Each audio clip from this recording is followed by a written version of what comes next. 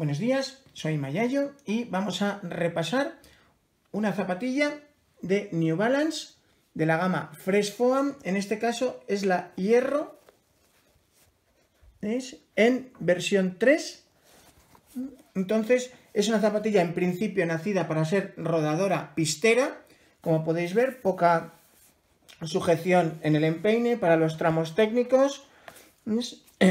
La rigidez la consigue a través de el Fresh Foam, un chasis con una amortiguación muy interesante y sus números, veis su calzada con suela vibran, sus números para empezar son de un precio medio, estamos hablando de unos 120 euros, el peso relativamente alto, 328 gramos, un drop intermedio de 8 milímetros con una altura al suelo delante de 22 y detrás de 30 y unos tacos dentro de esta suela Vibram que veis aquí de aproximadamente unos 4 milímetros aunque como veis son eh, tacos diferenciados con más prominencia en las zonas de aterrizaje y despegue y menos en la zona del puente y zonas donde es menos relevante.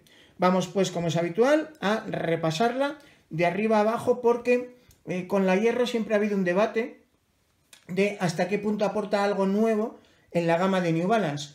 No es una zapatilla polivalente, para eso es muy superior la Leadville, no es una zapatilla para terreno técnico, para eso es muy superior la Summit.com y en cuanto a rodadora pistera pura, a no ser que vayas a terrenos blandos, donde este taqueado y esta goma de, Vibram te ayuden, pues mm, tiene hermanas, pues como la, bueno, la 880 y similares, que, se comportarían en igual o, mejor, o rivales como la Brooks Caldera. Luego os lo enseñaré en detalle, así que no es una zapatilla polivalente, solo puede ser competitiva como rodadora pistera y bueno, tiene un encaje un poco complicado dentro de, la gama. Eh, por abajo, bueno, eh, se agradece que New Balance apueste por la goma Vibram, porque eh, es cierto que para el trail, pues la goma de, New Balance es manifiestamente mejorable, así que han decidido gastarse el dinero, pagar a Vibram para que les haga suelas y no repercutirlo a nosotros, porque realmente los precios de la gama New Balance de trail son tremendamente competitivos, casi siempre zapatillas de 100 a 140 euros y con una relación valor-precio magnífica. En, este caso, pues ya os decía, goma Vibram con eh, tacos con perfiles diferenciados, más prominentes en los puntos que veis marcados en negro, que van a necesitar más tracción y menos en el resto de la goma gris. Si seguimos hacia arriba, bueno, los que no conozcáis la Fresh Foam, os explico, es un tipo de amortiguación que se basa en generar diferentes eh, densidades y resistencias según la inyección de la EVA sea nos dé hexágonos cóncavos o convexos. ¿Mm? Ahí tenéis como hacia un lado va de una forma, hacia el otro lado va de otra. ¿eh? Aquí tendríamos los eh, cóncavos, hexágonos cóncavos hacia adentro y aquí los hexágonos convexos hacia afuera. ¿Qué ocurre? Bueno, pues que con este juego es verdad que sin chasis duro, sin elementos duros de TPU y tal, consiguen una rigidez bastante notable es para ser una zapatilla sin, esqueleto como tal, ¿no? Y, esto gusta. Y luego una sensación de firmeza en la pisada que se agradece mucho cuando estás en el monte y no quieres una esponja, quieres sentir tacto de terreno a la vez que eh, lo bastante mullida como para que mm, corras a gusto. Así que mm, yo del Fresh Foam, lógicamente, he podido hacer eh, varias zapatillas ya. Me parece un, acierto, no es necesariamente la mejor, pero sí que es de las entresuelas más interesantes.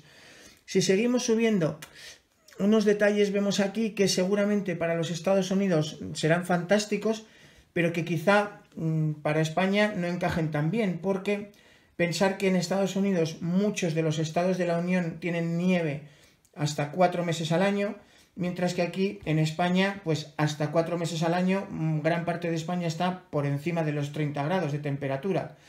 Así que, bueno, si vives en Cercedilla como yo, tienes la suerte de tener cuatro meses de nieve y cuatro meses por encima de 30 grados. Pero bueno, esa es otra historia. En este caso, la cubierta Como veis es una cubierta muy cerrada, eh, tiene el botín, tiene un material textil plástico que la protege, lo cual va muy bien si vives en una zona de nieves y agua continua, em, no va tan bien si quieres que tu piel respire.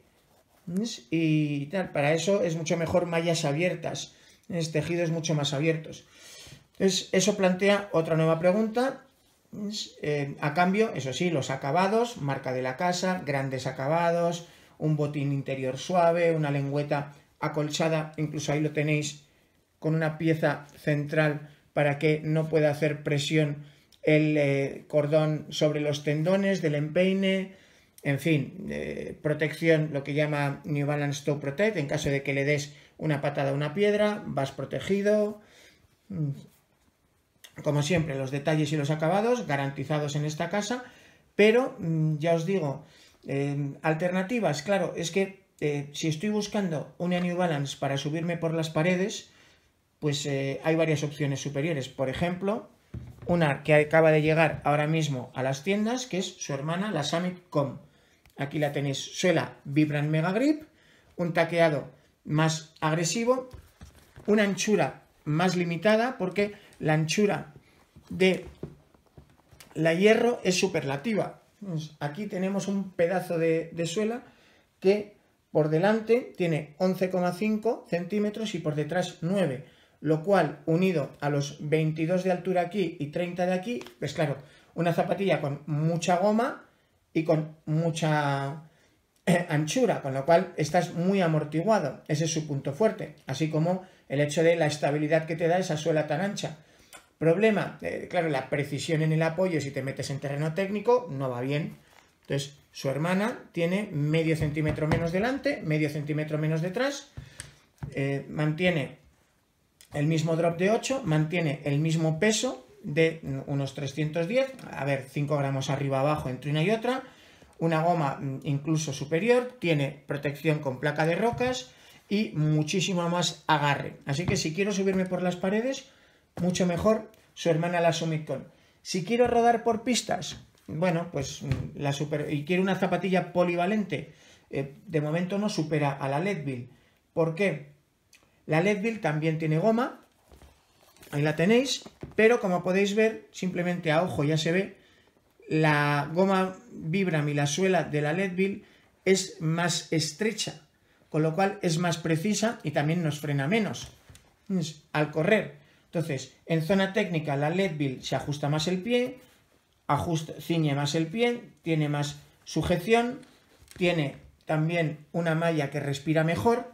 Entonces, para los españoles, pues eh, es una zapatilla que a la hora de rodar, por ejemplo, los 101 de Ronda o los 101 eh, peregrinos o la Madrid-Segovia o las millas romanas de Mérida, todas estas eh, carreras que normalmente tenemos más bien temperatura alta que baja, pues claro, el agarre va a ser el mismo y va a respirar mejor, pero a la vez si te tienes que meter en roca, pues eh, vas mejor con la Leadville.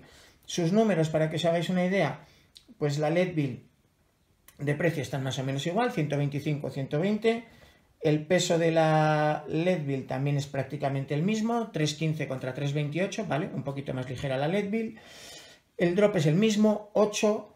Eh, la altura al suelo, vale, sí, aquí tenemos 20 milímetros de altura al suelo y 28, y aquí tenemos 22-30, es quizá la, principal ventaja. Pero ya os digo que la zapatilla polivalente de New Balance es la Leadville. Es, eh, la otra es una rodadora pistera para climas fríos, básicamente, pues, eh, y bueno, y terreno blando, que podrás aprovechar ese taqueado. ¿Qué ocurre respecto a otras alternativas de otras marcas? Pues si yo quiero una rodadora pistera para terreno fácil, eh, en España quizá, por ejemplo, la Brooks Caldera pues sea netamente superior. Ya habíamos visto que comparada con otras New Balance, su única ventaja es que tiene más eh, altura de goma, más amortiguación y más anchura de suela. Pero claro, contra la Brooks Caldera eso no le vale, porque la caldera tiene todavía medio centímetro más de ancho aquí delante, 12, lo mismo atrás, 9. Y en altura de amortiguación todavía tiene más que la, que la hierro, 24, 28. La única diferencia, bueno, pues aquí tenemos un drop de 4, 24, 28. A mí me va bien porque, eh, aunque sea ancha, con ese drop voy más pegadito al suelo y si me toca meterme en una zona técnica chunga, pues eh, siempre es mejor ir pegadito al suelo que ir con zancos. Entonces, eh, y es que la diferencia de peso es muy grande. Aquí estamos teniendo una zapatilla de 330 mm, gramos prácticamente, 328, y aquí tenemos una zapatilla de 290, son 40 gramos. Entonces, bueno, mm, ojo, esta es la historia que cuentan sus números. ¿eh? Ahora lo que, tenemos, lo que haremos será probarla a fondo, rodarla en carrerasdemontana.com para vosotros y ver si esa sensación tan extendida en Estados Unidos de que no termina de cuajar eh, un sitio en el que sea la mejor dentro del catálogo de New Balance, mm, quizá mm, aquí pues sí podamos encontrar un tipo de corredor y un tipo de uso donde sea la mejor, a pesar de no ser nada versátil y nada polivalente esta zapatilla. Mm, ya os digo, la anchura hace que el pie eh, flote bastante comparada con los ajustes de sus hermanas Leadville no digamos ya la Summitcom, que es muchísimo más precisa, o incluso con rivales como la, Caldera. bueno, termino recordando sus números. Precio 120 euros, peso 328, drop de 8 milímetros, porque delante tenemos 22 milímetros de altura al suelo, debajo 30, prominencia de los tacos de 4 milímetros para una suela Vibram y anchura de la suela ligeramente sobredimensionada respecto de lo habitual porque en este caso contamos con 11,5 delante y 9 detrás. Ahora a rodarla y a compartir conclusiones en carrerasdemontana.com. Nos vemos por las montañas. Hasta la próxima.